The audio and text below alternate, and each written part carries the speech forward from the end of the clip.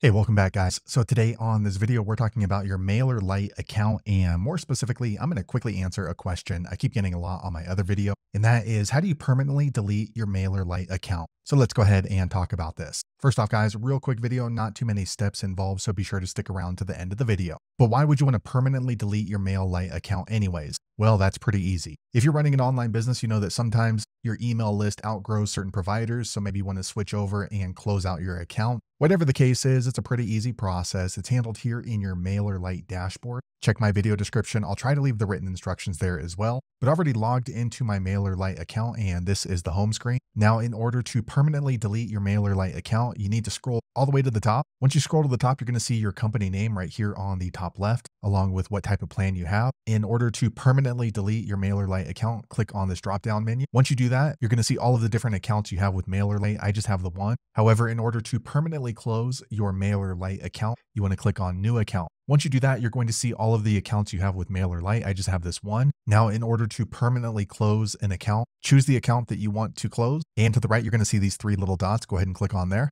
Once you do that, you'll see a drop down and then click on this button here called delete account. All right, once you do that, you will get a warning asking if you're sure you want to go ahead and delete your account. If so, click on the red delete button. I'm not going to do that because I still actually use this account. However, if you're looking to permanently close your account, once you go through the delete process, all of the data would be deleted within 30 days. Now that is nothing that you can recover. So if you want to reopen another account, you can do that. However, all of the data that you have inside of your MailerLite account would be removed, deleted, and you cannot recover it. So I would recommend that you download your list before you permanently close your MailerLite account. So there you have it, guys. If you're wondering how to permanently delete and close out your MailerLite account, that's the easiest way I know how to do it. If you know an easier way, be sure to leave a comment below. Let the rest of us know how you did it. Hopefully you found that video useful. If so, click thumbs up or maybe consider subscribing to my channel and hope to see you on the next video. Thanks again for watching.